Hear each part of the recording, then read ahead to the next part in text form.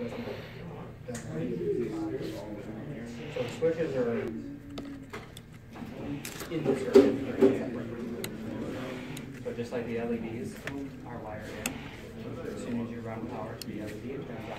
You don't actually have to ground and power and then switch that LED.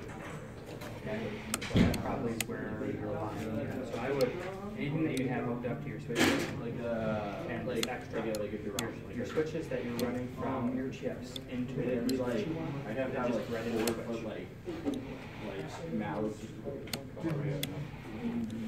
More of a base kit.